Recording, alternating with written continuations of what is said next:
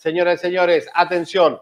En el 2017, una vidente dijo que Trump iba a ser, eh, eh, iba a tener un atentado al aire libre. En el 2017 lo dijo. Va a estar con nosotros Desiree Tavares, la gran tarotista evidente, que va a contarnos qué comienza a partir de ahora.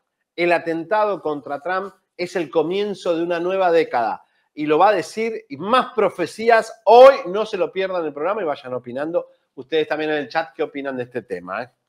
Bueno. mis queridas comadres, pues para agarrar más eh, seguidores, eh, vamos a hacer cambio de cámara, Jagger, porque resulta que Dana Paola, así como usted lo escucha, comadritas, yo no sé si realmente sea su inclinación o lo hacen por publicidad. Pero usted como mamá, me gustaría que hagan una encuesta, no me importa que algunas se quejen de la encuesta, nosotros nos damos cuenta de sus pensamientos.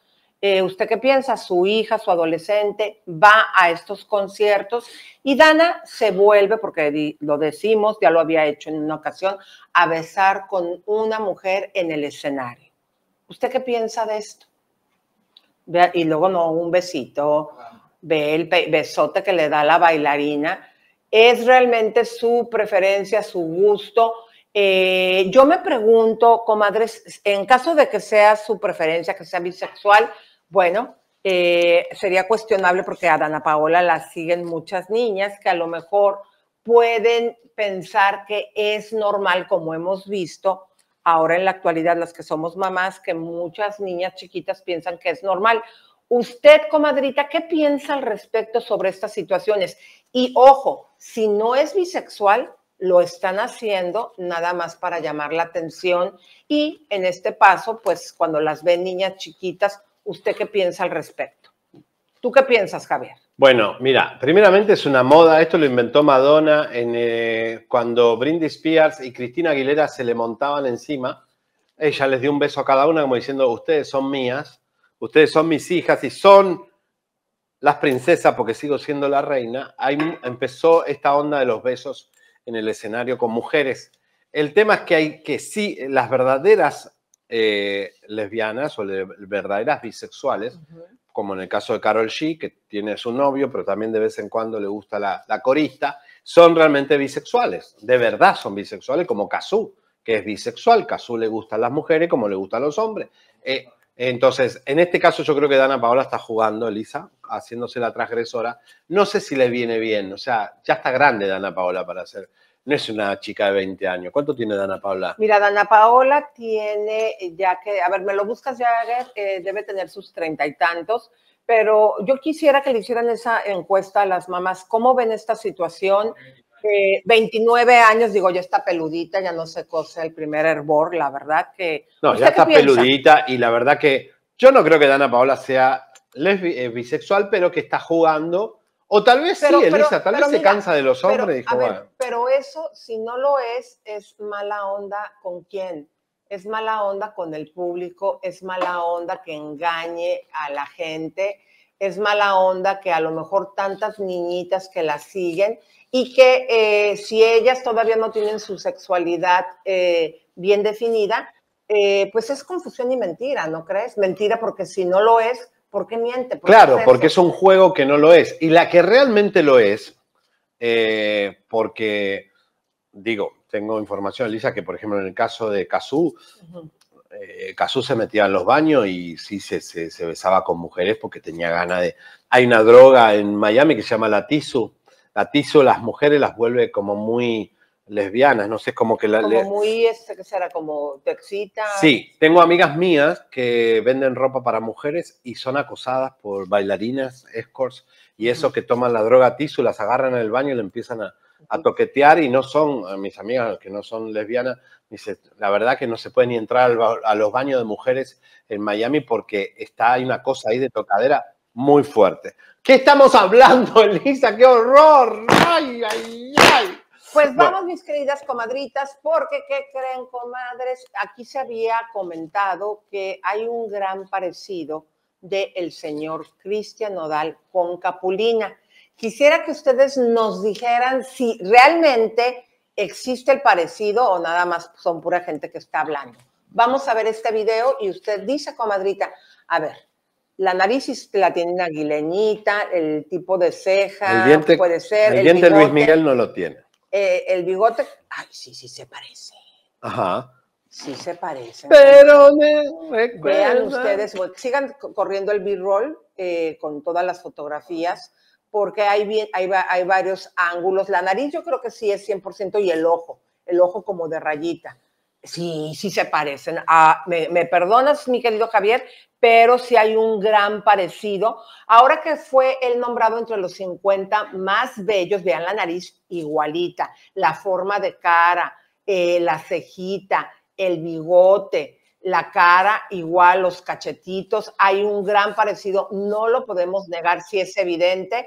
¿Tú qué piensas al respecto, Javier? Bueno, sí, puede ser. Este, digamos, Nodal, no sé si para las mujeres es guapo o no es guapo. Pongan comentarios ahí qué les parece, si es guapo o no es guapo. Eh, y la verdad es que, eh, ay, no, es que me, me- me estoy como un poco perturbado ¿Por qué? porque me, me pasaron un par de imágenes de, del OnlyFans de Kazoo y hay una que está horrible ¿Qué está haciendo? y parece que se está tocando con el gato. ¿Como con el gato del Sí, carro? o no, está como acostada Kazú y se empieza a tocar aquí, como a masturbarse y sale el gato, ¿Un gato? un gato de verdad.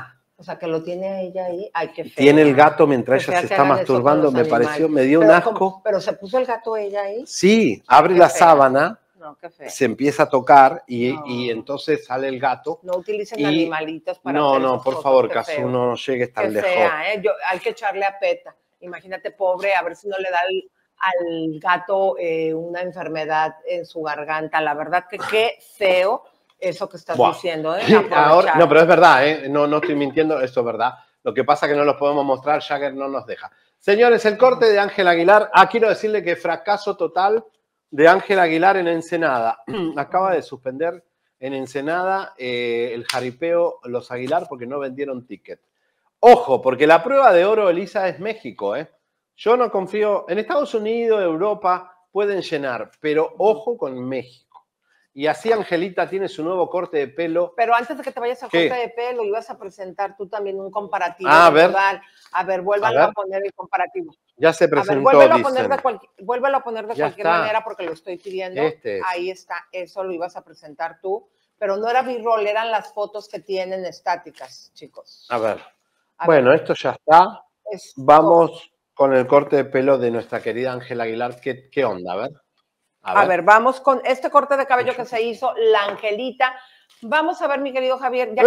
ay, ahí se ve como señora, hasta se le ve un bigote, ¿no? En la foto de la derecha. Pero parece ¿Sí o un hombre. se ve un, un bigote, comadres, ahí. Pare- parece un hombre. Sí, la verdad no me gusta mucho.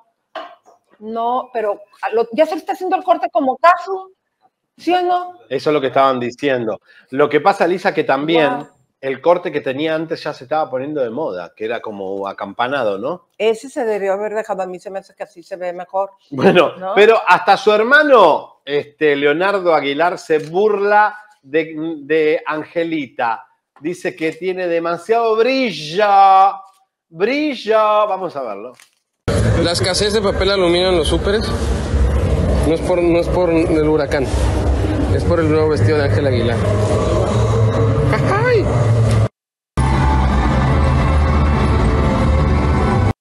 Póngale.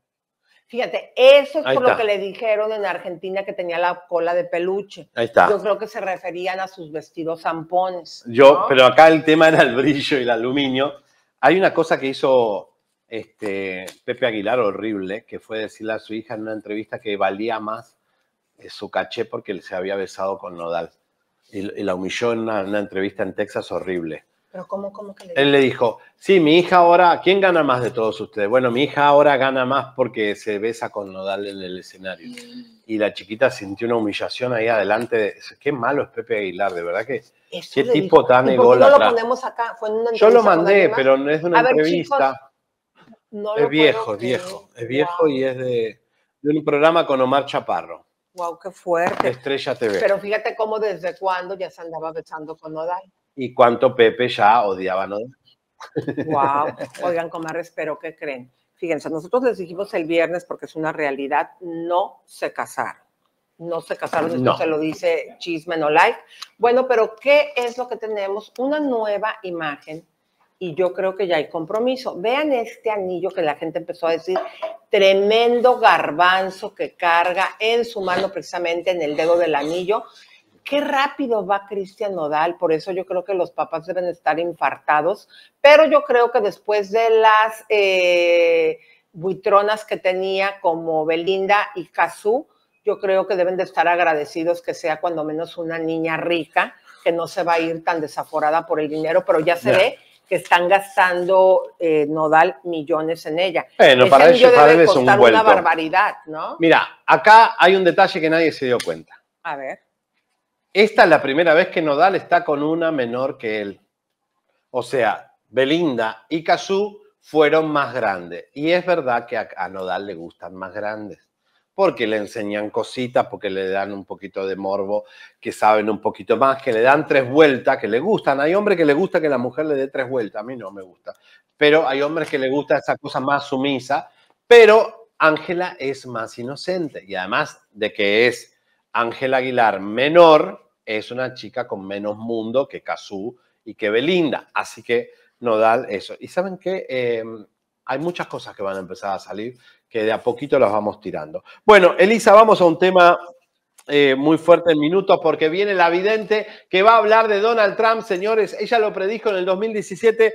Eh, Desiree Tavares, si usted la conoce, es una de las mejores de América. Va a estar con nosotros en exclusiva. Vayan compartiendo. Atención a todos los amantes del chisme. En Chisme No Like estamos emocionados de anunciar el inicio de una nueva era. Ahora podrás disfrutar de las noticias más explosivas y exclusivas las 24 horas del día directamente en tu Roku TV. Sintoniza Chisme No Like en Roku TV y únete a esta nueva era llena de chismes, escándalos, investigaciones y secretos revelados.